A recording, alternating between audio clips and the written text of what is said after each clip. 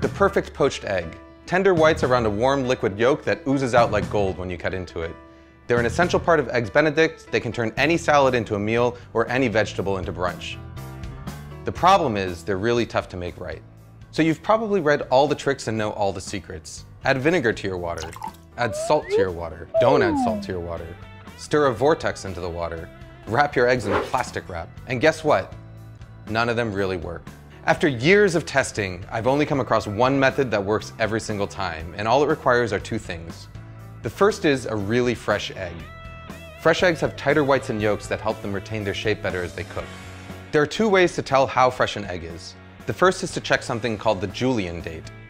As long as it's packed in the US, every carton of eggs has a number between 000 and 365 on it, and that number corresponds to the day on which the egg was cleaned and packed. So a number of 000 would mean January 1st, 003 would mean January 4th, and so on.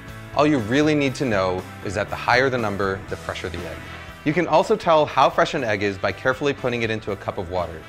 As an egg ages, the air pocket in the fat end is going to get bigger and bigger, which will make the egg stand upright or sometimes even float. A really fresh egg will sink and lie flat on its back like this. Once you've got your fresh egg, the second tool you need is something that I saw first suggested by British chef Heston Blumenthal a fine mesh strainer. You see, no matter how fresh your eggs are, there's always going to be some amount of liquid white. It's this excess white that causes misshapen eggs.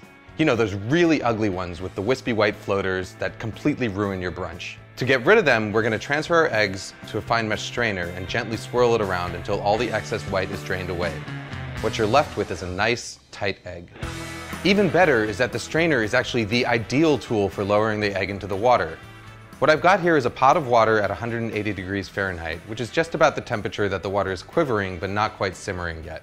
All I'm going to do is gently lower the strainer with the egg into the water, move it back and forth a little bit to make sure the egg isn't stuck, and then carefully roll the egg out. Just like a kid, it's these early formative stages of a poached egg's life that are going to determine how it turns out in the end. Using a round bottom strainer and this rolling motion is going to help ensure that you get a nice tight poached egg that's, well, that's egg shaped. If you want to cook multiple eggs, just make sure that you have them cracked into separate dishes and ready to go. Once they're in the water, your only job is to keep them moving around, flipping them from time to time with a slotted spoon so that they cook evenly. After about three and a half to four minutes, this is what you've got.